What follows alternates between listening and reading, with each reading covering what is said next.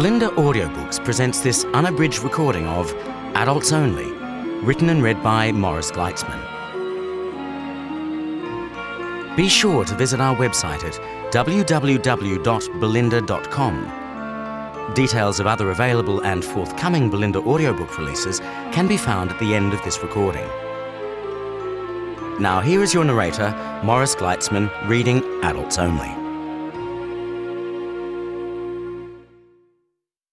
My dedication reads For Brendan and Maisie McCall. Chapter 1 Jake gripped his bat and stared across the ping pong table at Crusher. Crusher stared back, not moving a muscle or a tattoo. The scar on the side of Crusher's face didn't even twitch. The pine trees towering over them creaked with nervous tension. Jake kept his expression blank so Crusher couldn't see what he was thinking. Please, Hit this one back. It's not ping pong if you don't hit it back. Crusher's eyes were black and dull. Poor bloke, thought Jake.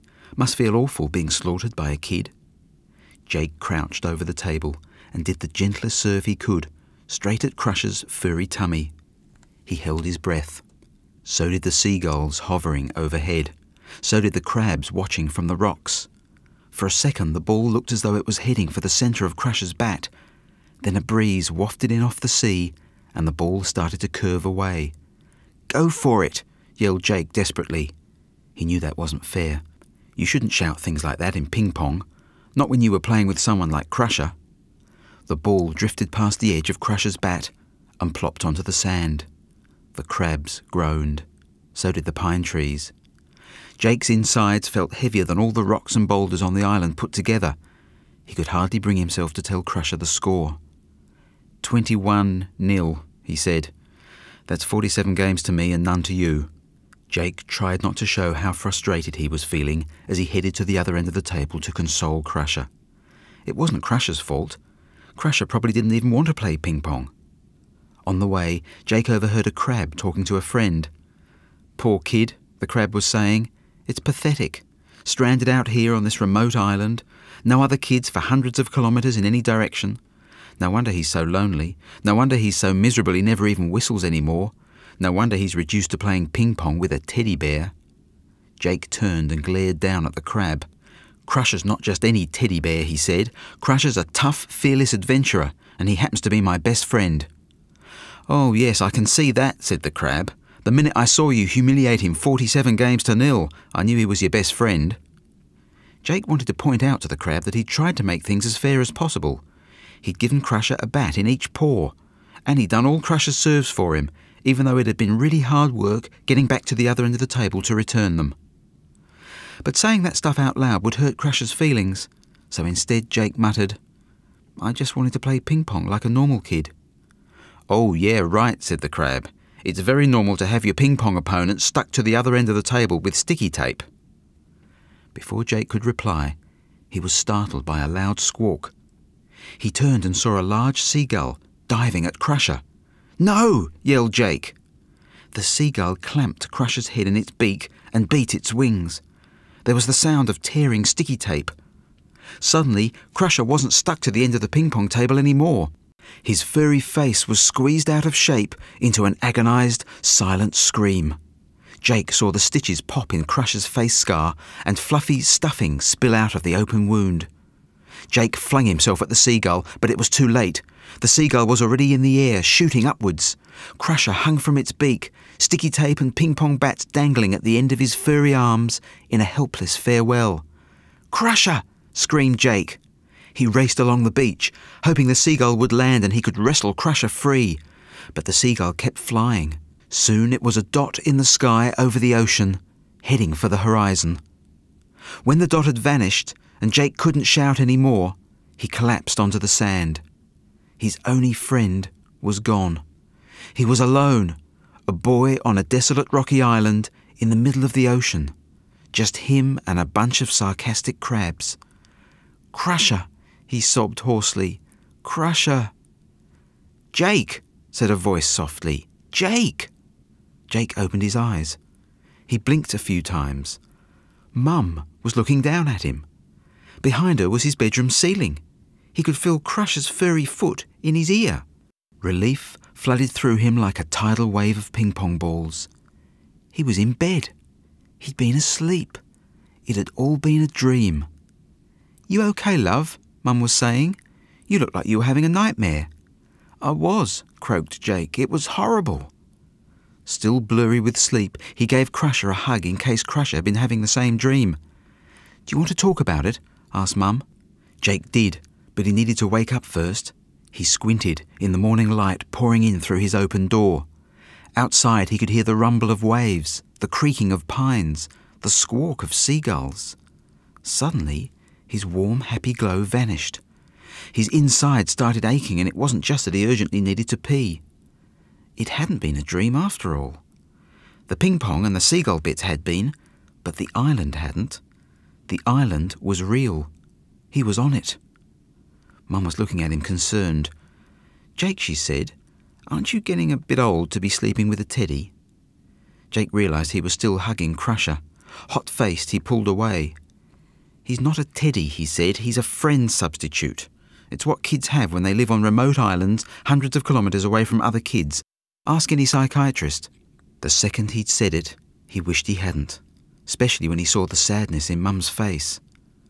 But he's so old and grubby, said Mum. It's not dirt, said Jake. He pointed to Crusher's furry biceps. They're tattoos. That one's a skull with a snake coming out the eyes, and that one's a lobster with a machine gun. Suddenly, Mum was hugging him. I'm sorry, she whispered. And he knew she wasn't just talking about calling Crusher grubby. She was talking about the island and their whole lives. Trouble was, it didn't change anything. His life was still a nightmare, and neither Mum nor Dad could do anything about it. Chapter 2 Mum didn't mean to hurt your feelings, said Jake, propping Crusher up on the kitchen bench next to the blender. She and Dad just get a bit thoughtless sometimes. It's the stress of running a small hotel worrying about whether the guests are going to fight over the last breakfast sausage or wet the beds. Jake switched off the blender.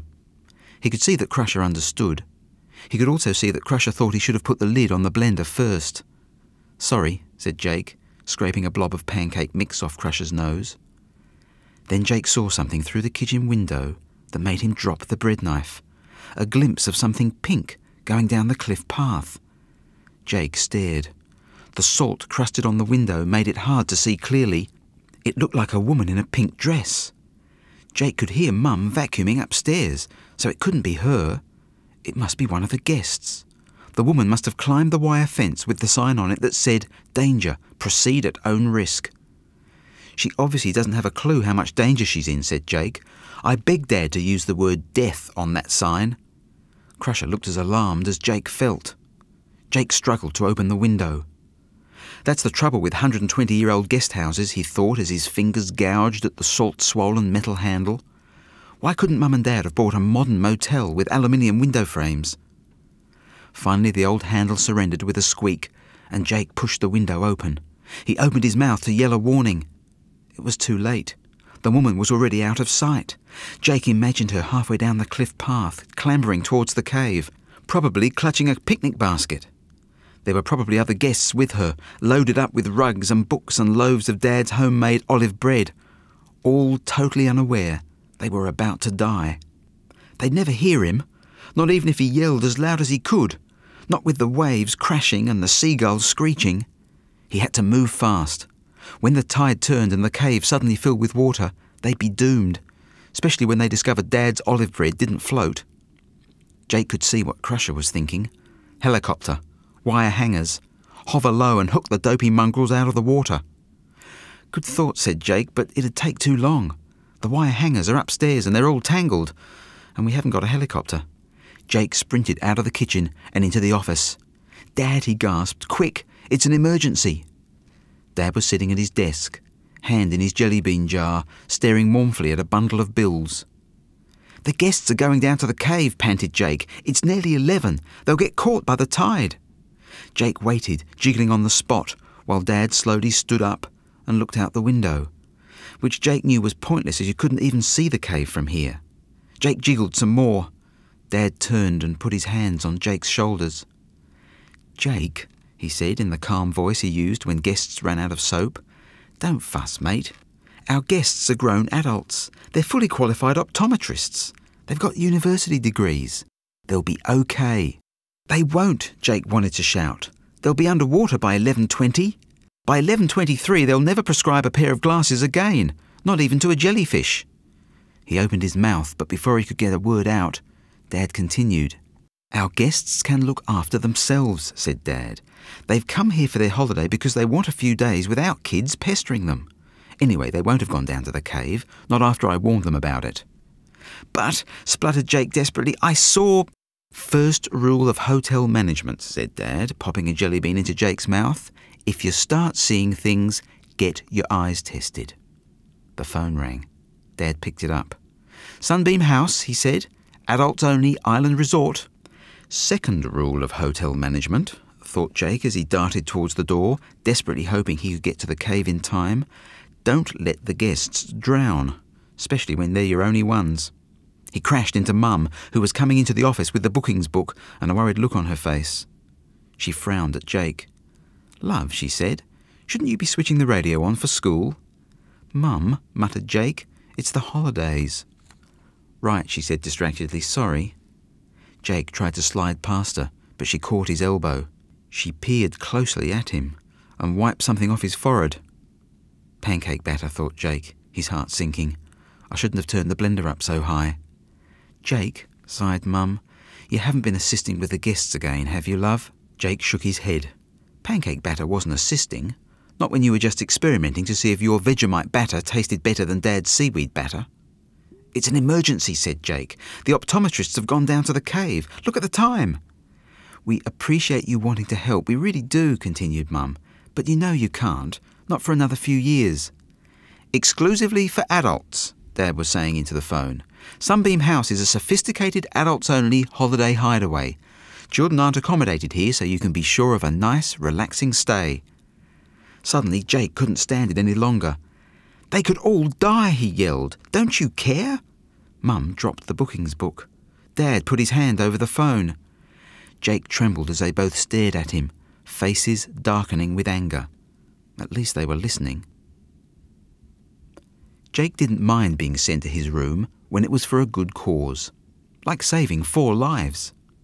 He pressed his ear to the stone wall and tried to hear what was happening outside. The waves were rumbling faintly and the seagulls were going mental as usual, but as yet there were no other sounds. No rescued optometrists stumbling back up to the house sobbing their thanks, recommending Jake get nominated for a Junior Heroism Award, suggesting Dad use a bit more yeast in the olive bread. Or if there were, Jake couldn't hear them. I wish these walls were thinner, Jake said to Crusher, who'd given up trying to hear anything and was lying on the floor with his head in a pair of Jake's underpants. It must be fantastic living in a fibro house. Jake could tell from the position of Crusher's buttocks that he agreed. And it must be even more fantastic having a room with a window, thought Jake. That was the problem with cellar bedrooms. You couldn't see out. With a bit of luck, Crusher, he said, Mum and Dad'll be so grateful we've saved their guests, they'll give us a bedroom upstairs. Suddenly the door swung open. Mum and Dad came in.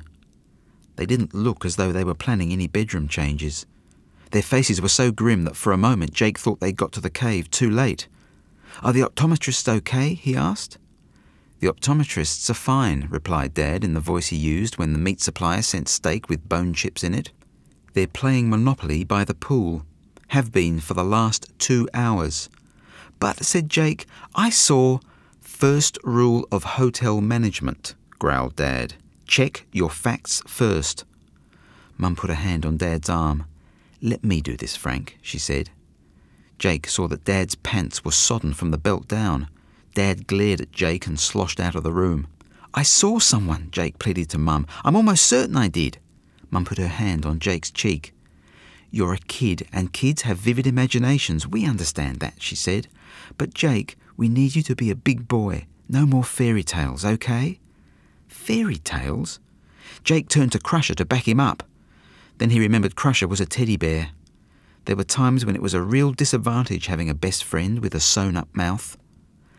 I know it's not easy for you living here, love, Mum was saying, but it's not like we keep you locked in a cupboard. You've got your own room and your own TV and your own computer. You've got your school friends on the radio, and there are millions of kids all over the world you can meet on the internet. Jake opened his mouth to explain to Mum about the people he'd met in the internet chat rooms, how they'd all had names like Killer and Babe Magnet, how their conversation consisted mostly of words like asswipe and dude. Mum was still talking. All we ask, Jake, is that you be a good boy and leave the guests alone. But, Mum, Mum put her finger over his lips. Try not to argue, Jake, she said. We've been through this a million times. When guests come all the way, I know, said Jake quietly. We hope you enjoyed this preview. To continue listening to this audiobook on Google Play Books, use the link in the video description.